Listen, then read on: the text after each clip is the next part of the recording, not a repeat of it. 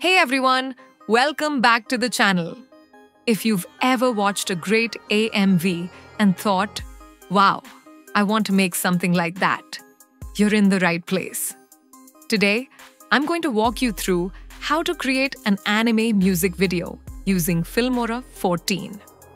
It's easier than you might think, and the results can be seriously impressive. Let's get started. The first thing you need to do is gather all your media. This includes your anime clips and the music track you want to use. Ideally, go for high quality clips, 1080p or even 4K if you can get them. The better the source material, the more professional your AMV will look. Try to find scenes that match the mood or emotion of your chosen song. For example, if you're using a dramatic or emotional track, look for scenes with strong facial expressions or slower, cinematic moments. For high energy music, go for action packed sequences with quick motion. Once you have your media, open up Filmora 14 and create a new project. Import all your files into the media library. Just drag and drop your anime clips and music into the software. It's super intuitive. I recommend naming or organizing your clips beforehand so you can find specific scenes quickly. Now let's talk about syncing your clips with the music. This is where Filmora 14 really shines.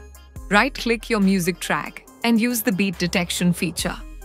What this does is analyze the song and place beat markers on the audio waveform in your timeline. These markers show you where the strong beats are perfect for timing your video cuts and transitions. Next, start dragging your anime clips into the timeline.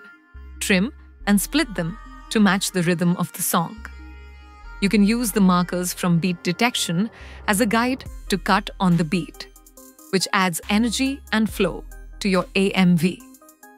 Don't just stack clips randomly, think about the pacing. If the music speeds up, use faster cuts. If it slows down, let scenes breathe with longer takes. This is what gives your AMV rhythm and emotion. After arranging your clips, it's time to add transitions and effects. Filmora 14 comes with a wide range of transitions like glitch, zoom, warp, and fade, which can help emphasize changes in the song. Use them wisely. Don't overload your project with effects or it can feel chaotic. Stick to a consistent style. For example, glitch transitions work great for intense battle scenes, while dissolve or blur transitions fit more emotional or dramatic moments. If you want to go the extra mile, try adding text overlays or lyrics. Filmora's text tool allows you to animate titles, sync them with your music, and customize the font, size, color, and motion. If you're doing lyrics, make sure they're accurate and timed well.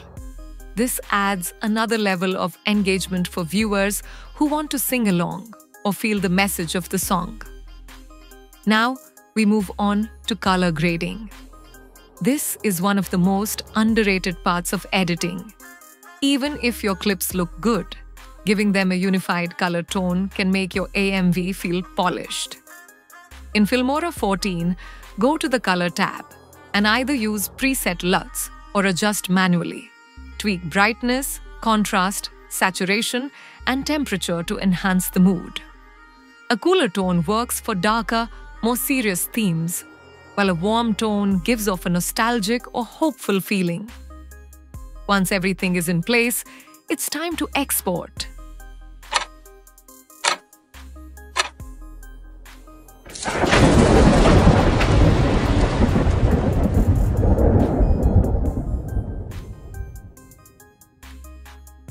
Click the Export button, choose your format. MP4 is usually best, and make sure you're exporting in at least 1080p. Set your bitrate high to preserve video quality. Give your file a name that's easy to remember and includes the anime or song title so it's easy to find later. And that's it! You've just made your own anime music video using Filmora 14. It's an incredibly rewarding process, especially when you see your favorite characters and music come together in one artistic video. If this tutorial helped you, don't forget to give it a thumbs up, subscribe for more content like this, and drop a comment telling me which anime you're planning to use for your next AMV. Thanks for watching, and I'll see you in the next video.